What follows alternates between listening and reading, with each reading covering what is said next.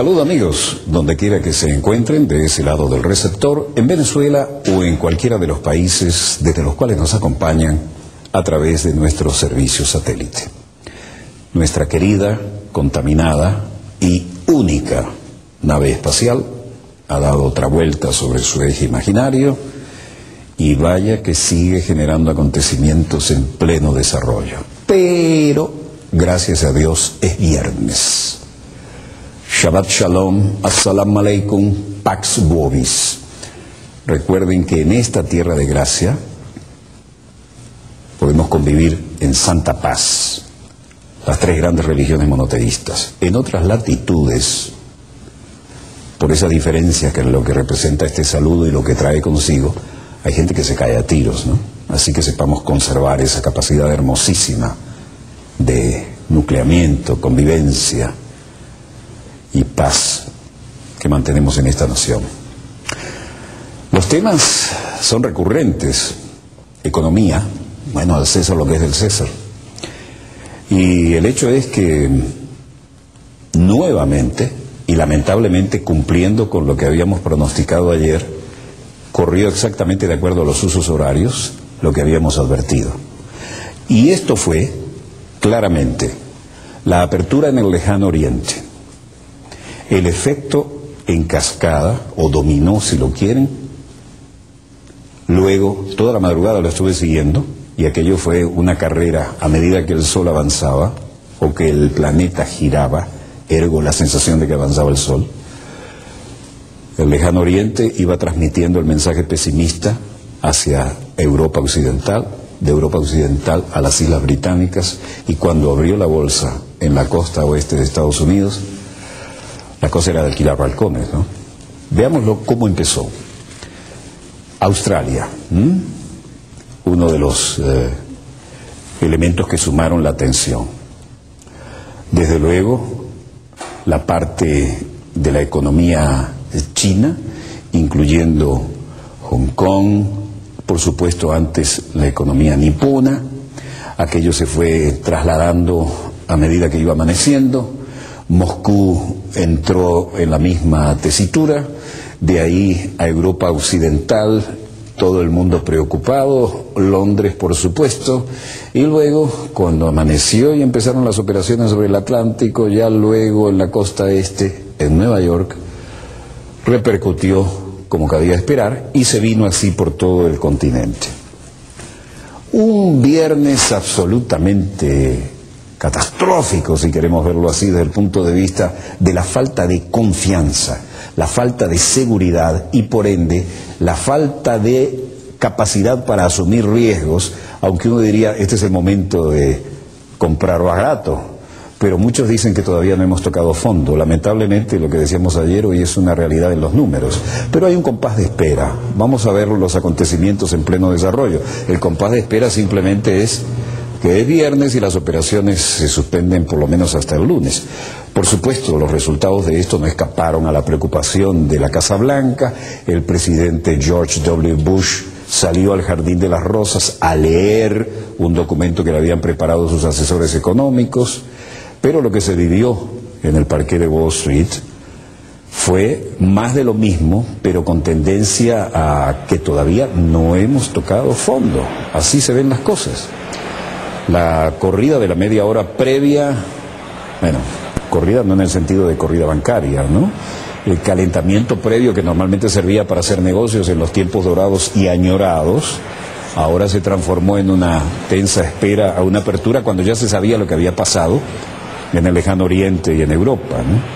El cuerpo diplomático en la, eh, fue el encargado de representando el cuerpo diplomático en una experiencia que se llama Viviendo América, ¿no? un esfuerzo del Departamento de Estado para educar al cuerpo diplomático en el aspecto social, cultural y económico de la vida estadounidense. Había muchos invitados allí.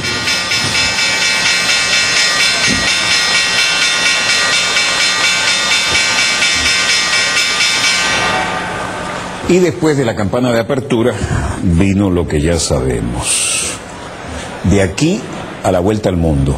Y en toda esta gente tiene una experiencia inolvidable, porque son invitados de otros países todos de carrera diplomática para experimentar diversos aspectos de la vida en los Estados Unidos y hoy le tocó en un viernes inolvidable por las características económicas el honor de estar presente en el balcón y hacer sonar la campana. ¿no?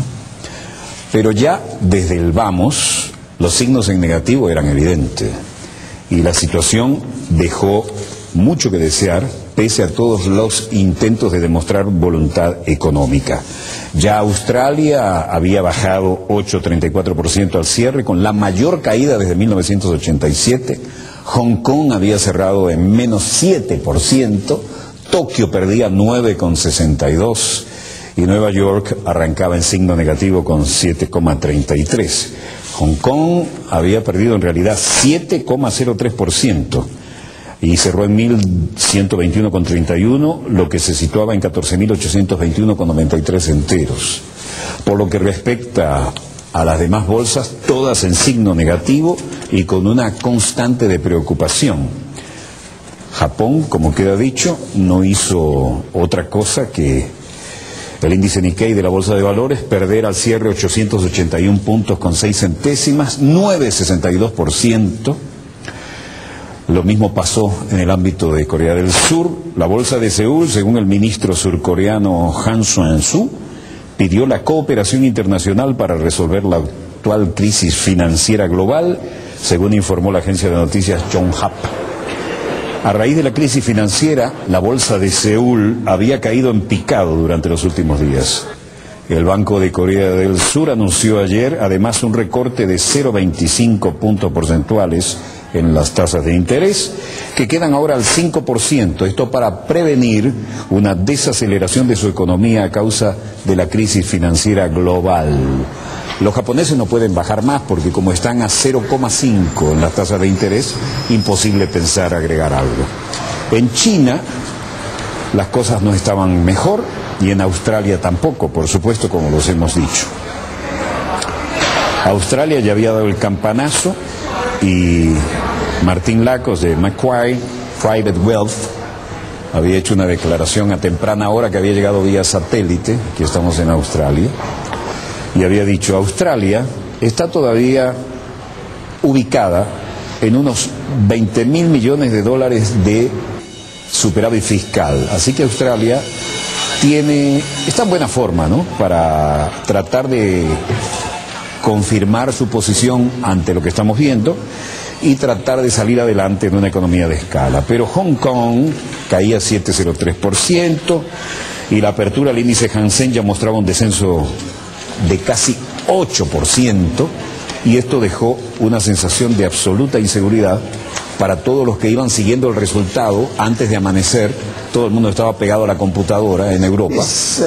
Y aquí lo dice Francis Lung en Hong Kong, dice, el tema es completa pérdida de confianza. El, el mercado todavía está buscando tocar fondo, está buscando apoyo, necesita convencerse de que hay estabilidad y que la gente pueda retornar al mercado financiero. Pero ahora Europa, los Estados Unidos, están todavía en un verdadero problema y lo que estamos buscando todavía es llegar a tocar fondo, porque el mercado está patas arriba.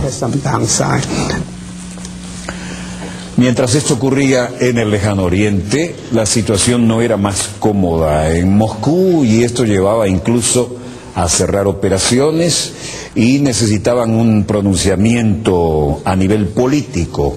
En la Duma, el edificio en el que estamos viendo el Parlamento, Oleg Morozov, el segundo de a bordo en cuanto a, la conducción de la Cámara, dijo, tenemos un sistema financiero realmente fuerte y con enormes reservas, especialmente después de la adopción de medidas que se iniciaron con la política de liderazgo del primer ministro Vladimir Putin y que han sido ratificadas hoy tomando medidas legales.